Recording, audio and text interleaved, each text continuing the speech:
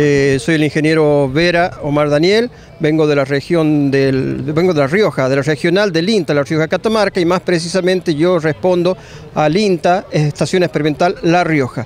El INTA en La Rioja se divide en dos fracciones, el INTA EA La Rioja, que es todo los llano de La Rioja, que abarca ocho departamentos, y el INTA Chilecito, que abarca toda la cuestión, eh, la costa, digamos, de serranía o del oeste de la provincia.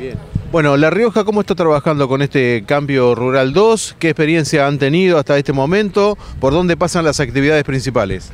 Muy bien. Eh, mire, desde que se construyó el lanzamiento de Cambio Rural 2, vino a fortalecer enormemente, eh, eh, digamos, el brazo ejecutor que tiene hoy el INTA, que son los proyectos regionales con enfoque territorial. Si bien sabemos que Cambio Rural es un proyecto gestionado desde el Ministerio de Agricultura de la Nación, se ejecuta a través del brazo ejecutor, que es el INTA por tener una red, digamos, de, desarrollo territorial en todo, a lo largo y a lo ancho de nuestro país. Eh, esto ha venido a suplir, digamos, una, necesidad eh, terriblemente inclusiva hacia todos los productores que hoy estaban demandando tecnología, estaban demandando asistencia, estaban demandando organización eh, para producir y comercializar.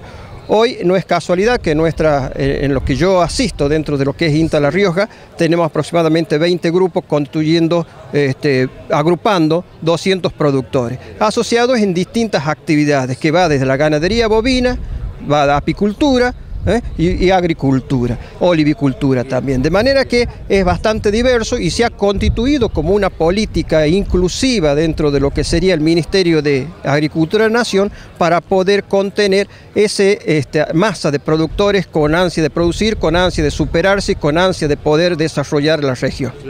¿Y el anclaje dónde está, digamos? ¿Recibe asistencia económica, asistencia técnica, capacitación? ¿Por dónde va el hecho de enriquecer el grupo, digamos? Bien, nosotros trabajamos fundamentalmente conjuntamente con el INTA, como dije, se ejecuta a través de los INTA, y bajamos eh, a través de asesoramiento técnico y vinculación con todas las políticas públicas, que esto es absolutamente importante. Nosotros estaríamos vinculando las posibles fuentes de financiamiento que puedan llegar a tener para consolidar sus actividades a través de las distintas políticas públicas existentes no tan solo a nivel nacional, sino también a nivel provincial y departamental. Es decir, esa articulación nos permite sentarnos en territorio con todos los agentes promotores de un cambio, digamos, y de desarrollo hacia el sector productivo, lo cual ha generado, sin duda, una buena convocatoria y una buena aceptación en los gobiernos provinciales y municipales. Es decir, que es para para, felicitar, agradecer esta, digamos, esta, esta iniciativa de incorporar Cambio Rural 2, porque Cambio Rural 2 incorpora incluso en esta segunda etapa a un productor de un perfil inferior que no tenía la posibilidad anteriormente de ingresar a este grupo de asesoramiento. Así que